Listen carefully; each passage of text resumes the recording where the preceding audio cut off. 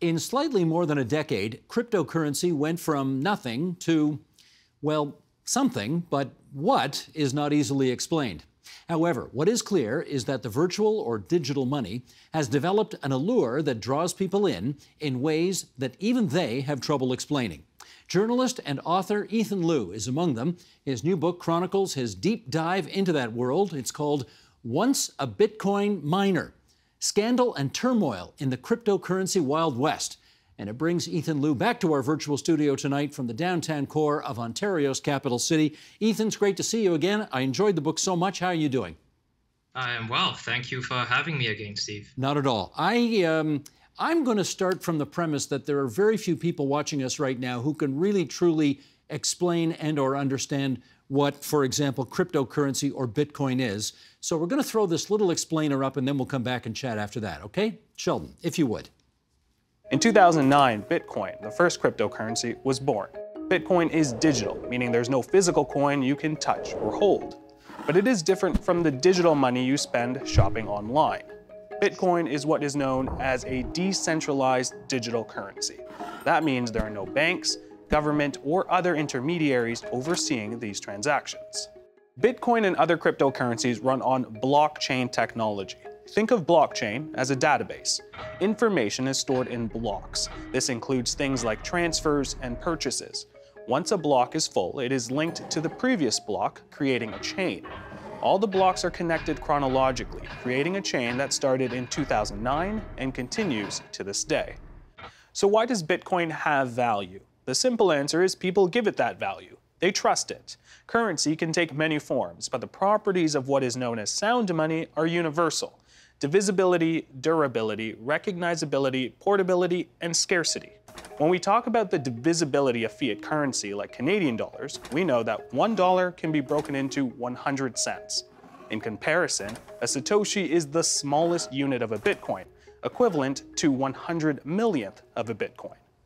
Unlike Canadian dollars, which are printed through the Bank of Canada, there is a limit on how many Bitcoins are available in the market.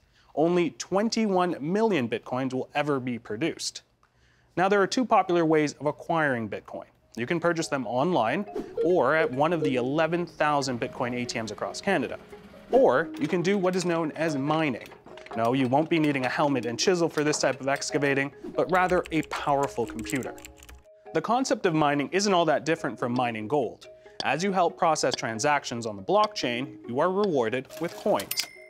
One of the biggest advantages of cryptocurrencies like Bitcoin is that you can send large sums of money halfway across the world in a matter of 10 minutes. But what can you buy with it? While still limited, you can buy fast food, a hot cup of coffee, plane tickets to your next vacation, tickets to concerts and sporting events. More recently, Tesla announced it would start accepting Bitcoin as a payment method for its products after buying $1.5 billion US in Bitcoin. Okay, thanks to Jane Jagannathan for that explainer, and let's get to it. What got you, Ethan Lou, interested in Bitcoin to begin with? It's a very long story, and it began in uh, 2012, 2013, and that was when I first heard of Bitcoin. It was actually when my friends and I we were just on the dark web for I guess no good reason, and that was my first time just fiddling about on the dark web, and I saw that uh, those dark web marketplaces, and this was this was back when Silk Road, the most infamous of them, was still running, and I saw that they were transacting with Bitcoin. That was the only medium of transaction allowed there. And from there, it did take me like a whole year to, to actually sink my money into Bitcoin, but that was the beginning. And what made it attractive for you? Hmm. Uh, well, at first, I, I, could see that why people were using it on the dark web. Uh, it's because there's no central administrator to this. So how Bitcoin works is that it's entirely peer-to-peer. So those funds theoretically they can't be frozen, they can't be seized, and there is a, there is a certain attractiveness to that. And and if you think beyond the dark web, there are lots of uh, other applications for that, and you can see that not only does it have value, other people are going to see that it has value. And of course, at the time, I didn't feel that to a 10, probably like a three or a four, and it was a gradual process. Okay, it can't be frozen or seized, but it can be hacked or stolen. Didn't that disturb you at all? Yeah, so I think the the issue, and I think uh, something that it that could possibly be cleared up is that lots of times when people lose Bitcoin uh, or other cryptos due to hacks, it wasn't Bitcoin or other cryptos themselves that are hacked. It's uh, usually something else that is hacked. So, for example, uh, the recent case of the the kid in Hamilton who uh, allegedly stole 46 million dollars worth of crypto. Uh, he didn't he didn't hack the crypto. He uh, he did a SIM swap. So he pretended uh, allegedly to uh, to be someone else to the telco company, and uh, thus uh, essentially stealing their identity. And from there, that's how people steal steal crypto. And ultimately, the biggest feature of Bitcoin is also its biggest bug that transactions are irreversible. So once stolen, it's gone. Well, that's what made me wonder about what a smart guy like you, who who had a full-time job as a journalist and who's, you know, you've got a book under your belt, you're an author. What are you doing messing around on the dark web looking for LSD, hanging out with some of these very shady characters? I mean, Ethan, come on. You're such a nice young man. What are you doing? well, I uh, I was a young man at the time. It was uh, just after my second year of university. So uh, I only finished university in like 2015. So, and uh, why do young men do what they do? It's the same reason people uh, climb tall piles of rock or ride raging farm animals just to see how long they can stay atop. Okay, I think that actually makes some sense. Now, you had a job, as I suggest, at, at the Reuters news agency. You're a full time journalist there, and then you quit. And I want to read an excerpt from the book here, which tells the story after that. You write, Then almost instantly I wanted more. And there was indeed more. Cryptocurrency had only been around since 2009. Everything was still in its infancy. Like everyone else I'd met, I had been seduced by this new world and its potential and opportunities. Later, when searching for a simple explanation for what I did next, I would cite this that in that moment, when I came to truly understand my wealth, my heart had been filled and pierced with bewitchment and with desire for the enchanted gold beyond price and count.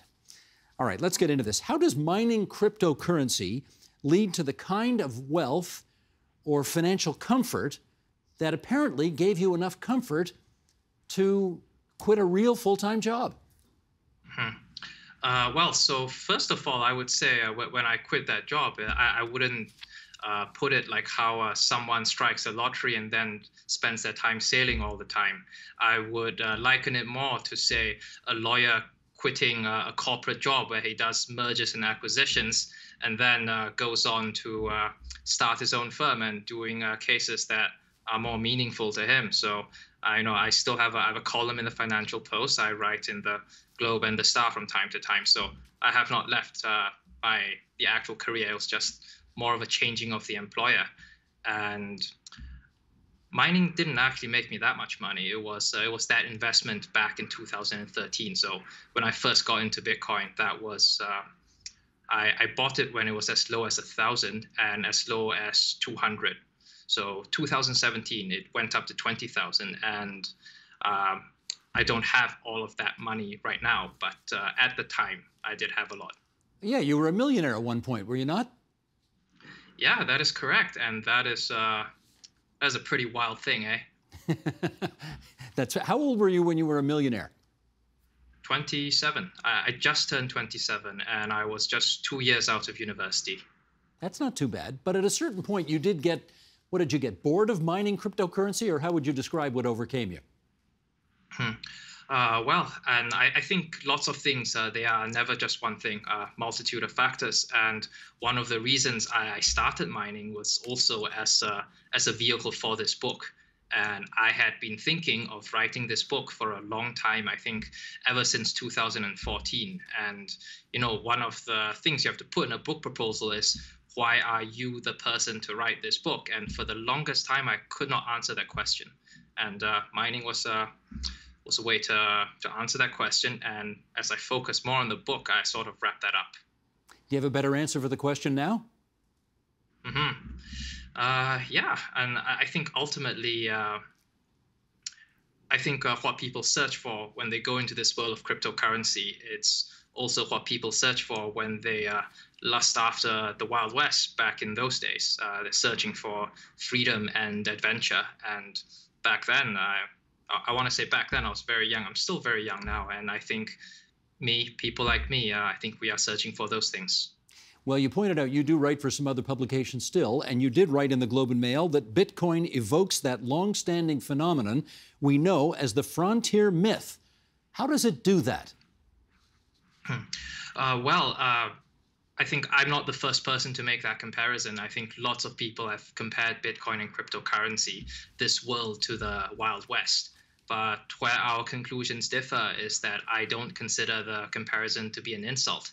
I think uh, while the actual Wild West it's full of injustice, colonialism, and brutality, the idea of the West, uh, what uh, what beckons people there, that is very positive. Uh, why do people go to the West in the past? Because it offers freedom and it op- offers opportunity and riches. But more important than that, in the Wild West, you are free from the societal hierarchies back home. You know, how things are structured in normal society it may not matter that much in the West. And I think the world of crypto is very much like that. And people seeking it what people sought in the West back then. So there is, in your view, a a kind of a typical crypto personality that might be particularly attracted to that world. Is that fair to say? Oh yeah, uh, absolutely. And but I think the world is diverse and we all have a lot of differences. But I think uh, the underneath all that, uh, everyone in it does have something very similar. Because uh, when I went to North Korea for that crypto conference, uh, right before then, I met a whole bunch of the other attendees. We had nothing in common, but uh, the first thing a guy said to me was, "Why did you decide to do this outlandish thing of going to North Korea?" And uh, my only response was, "Well, what about you?" And we all just laughed and we never really addressed that but i think we knew we shared something in an unspoken way well, as a matter of fact, that is question eight on my list here. Why in heaven's name would you go to North Korea? You sort of answered it right now, but um, well, let's put it this way. Admittedly, you're a bit of a, a child of the world, right? You're born in China, but you grew up in West Germany, and now here you are in North Korea. Did it, did it at any point occur to you that that might not be the smartest thing in the world to do? Mm-hmm. Yeah. So, firstly, uh, why I decided to go to North Korea, other than the crypto aspect, uh, because uh, North Korea was holding a cryptocurrency conference. It was also that um, I think of North Korea as a time capsule because when I always tell my parents of how weird North Korea is, they would say, It's not weird. This is the China in which I grew up. But over the years, China has changed a lot and North Korea has remained rather stagnant. So I've always thought that if I can go to North Korea, I can sort of see how my parents grew up. And I've long wanted to go to North Korea. And when the crypto conference came, that was uh, that I, I, was like, I have to go. And and also, I should say that uh, North Korea, it's before the pandemic at least, it has opened it, itself to tourism. Lots of people uh, go there all the time. And so, while it may not seem like a normal thing to do, it's not, in my view at least, completely outlandish. Well, it may be that more people are going there, but if I read your book uh, correctly, there's a lot more people who are trying to get out of there right now. Uh, how, as you look back on the experience now, um, would you advise other people to go to North Korea? Hmm. Well, I would say, um, I guess probably yes. It, I think it depends on your your personal risk tolerance and I, I actually don't see why not, and uh, probably not in the pandemic because they've they've suspended these tours. But uh, if they if they ever come back again, these are legitimate tourism companies, and they, they take you there. And generally, I, I, I would think of it as quite safe. Well, let me ask you about a high-profile figure in the cryptocurrency world, a man by the name of Virgil Griffith, who was on the same trip as you. What happened to him? Mm-hmm well, he uh, he got arrested. So uh, maybe to uh, to uh, address that previous question again, if you're American, it'll probably be a good idea not to go to North Korea because uh, he he was he had the ill fate of being born an American and. Americans they can't go to North Korea after someone went there, got detained, and, and later died. So he he not only so oh he wasn't allowed to go, he sought permission to go, he was denied, and so they were clearly watching him from the beginning. And then he gave a speech there, and he's accused of uh, imparting technical advice to North Korea. uh, with respect to crypto and uh, with respect to uh, evading sanctions, and he pleaded guilty in uh, September of this year. Let me raise another guy who is a, a big player in your book, and his name is Jan Serrato, uh, with whom you you actually uh, publish in the back of your book a lengthy email exchange that the two of you had. you seemed quite balanced during the course of it. He seemed quite well, I'm not sure what word to use, but distracted, I guess, is, a, is a, a, gentle way of describing the way that his emails uh, seem to you. Uh, okay, talk to me about your relationship with him and, and um, how it ended up. Mm-hmm. So uh, it, it, was actually a, a, text exchange. But yeah, my relationship with him, I, I first came across him when uh, I, I went to this crypto meetup in Calgary, and it was branded as a workshop. But when I walked in, uh, they were people clearly selling a scam. There was this guy, he literally quoted the Bible. He said, Trust in the Lord with all your heart and lean not to your own understanding. And that project was eventually sued by the uh, SEC in the US.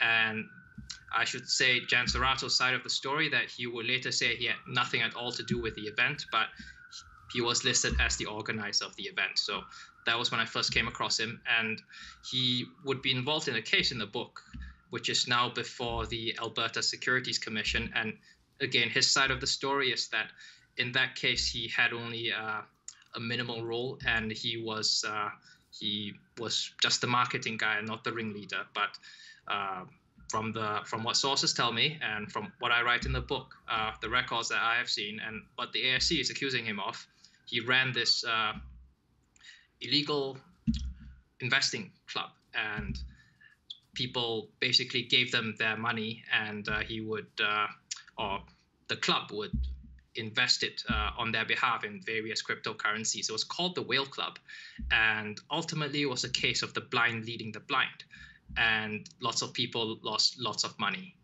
Are you one of them? Uh, no, I, I, I think from the beginning, I did not think of that as something I would put my money into. That it was indeed a, a little suspicious. But 2017, let me tell you, that was uh, that was a wild time. That was uh, Bitcoin went from a thousand to twenty thousand. All sorts of projects were entering, and all sorts of people were claiming all sorts of expertise. And the interesting thing is that you didn't need to know what you were doing to make money because everyone's a genius in the bull market. but uh, when the crypto winter comes, uh, yeah, the it came for everyone. In our last couple of minutes here, I guess one of the things that helped me understand cryptocurrency was the notion that that you know air miles is a kind of a currency, aeroplan points are a kind of a currency. You know, you collect them and you spend them, and and cryptocurrency, Bitcoin, I guess, is the same kind of thing. Uh, my question for you is now that you've looked into this so much and spent so much time on it, do you think that cryptocurrency is going to become, as air miles and aeroplane points have, do you think it's going to become more mainstream and everyday people are going to be into this in a big way? Uh, yeah, absolutely. And I think, uh, yeah, you can definitely draw the comparison between Bitcoin and air miles, but there is a big difference there in that air miles, it uh, whether you have it, how you spend it, it depends on the benevolence of the, the company controlling it. And I would uh, I would tell you the story about Bitcoin that uh, I love telling. It illustrates, I think, in the best way its uh, use case. So in Afghanistan, uh, back when the Taliban were taking over and when refugees tried to flee, and they all most of them uh, they can't leave with their with their money they leave often penniless because of how bad their financial infrastructure is and how bad their currency is but there was this young lady i've heard who had bitcoin and she it was a harrowing journey for her out of afghanistan she had to cross iran and turkey and her ship sank in the mediterranean but when she landed in germany she effectively uh, when you memorize your passphrase, you effectively just carry bitcoins in your head. And so she was able to use two bitcoins to fund a new life in Germany. And I think at the end of the day, uh, our financial infrastructure, uh, we take a lot of these things for granted, but we forget how how fragile they are and how quickly they can fade away. But Bitcoin, at its heart, it's a it's an anti-fragile version of that. Hmm. Well, it is a fascinating and dramatic story, and it's well told in Once a Bitcoin Miner. Scandal and turmoil in the cryptocurrency Wild West, and it's brought Ethan Lou to our virtual studio tonight from downtown Toronto in uh, Ontario's capital city. And Ethan, it's been good to see you again. Stay well, okay? Always a pleasure. The Agenda with Steve Paikin is made possible through generous philanthropic contributions from viewers like you. Thank you for supporting TVO's journalism.